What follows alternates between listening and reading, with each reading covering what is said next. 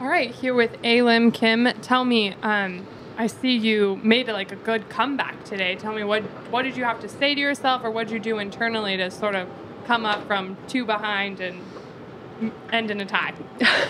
어, 오늘 그러게요. 제가 투다운까지 내려갔었네요. 근데 어, 스테파니가 정말 좋은 플레이를 했고요. 그리고 음, 어, 제가 오늘 아쉬운 부분도 많고 근데 다행히 컴백해서 전 나이스하다고 생각합니다.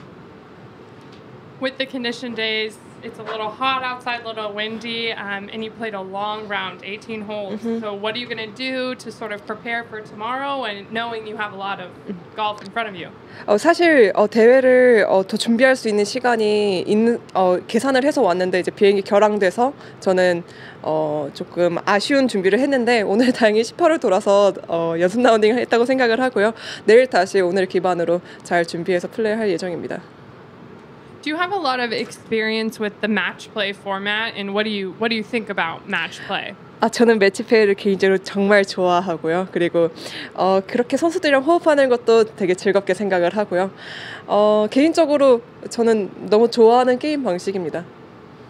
And going into tomorrow, what's sort of your strategy? Are you a player who's more aggressive during match play, or are you more conservative? 음, 어, 저는 어, 여기 코스 색깔이 어, 그렇게 공격적인 플레이가 유리할 거라고 생각하지 않아요.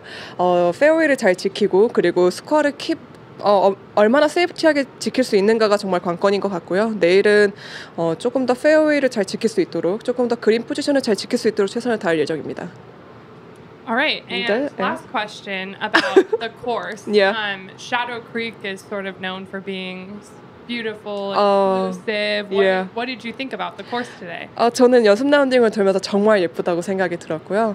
어, 되게 이색적인 느낌을 많이 받는 골프장이에요.